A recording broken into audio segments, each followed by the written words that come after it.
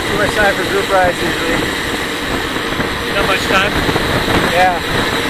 I'm usually racing. Oh, okay.